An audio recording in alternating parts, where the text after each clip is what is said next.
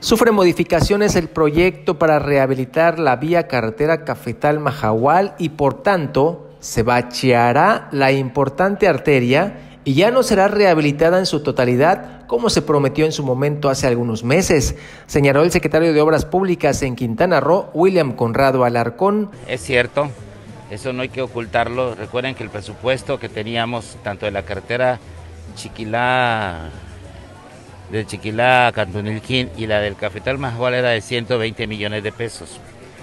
los recursos la, autorización fue por 820 millones y tuvimos que bajarlo a 65 millones. El caso de la de, la Majagual es precisamente mañana vamos a explicarle a la ciudadanía cómo vamos a hacer. Les vamos a dejar el informe de qué tramos se van a repavimentar, que son los más afectados.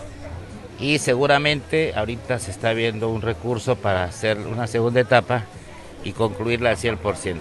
No es bacheo, es como reparar una carretera por tramos largos.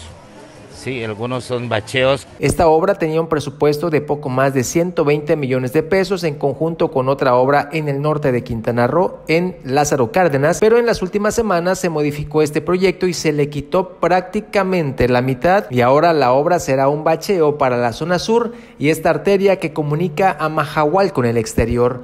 Estos recursos provienen de los 820 millones de pesos que el Congreso local recientemente autorizó al Estado como un financiamiento para 42 obras que deberán concluirse antes que termine el actual gobierno en un año. Para Notivisión, Juan Pablo Hernández.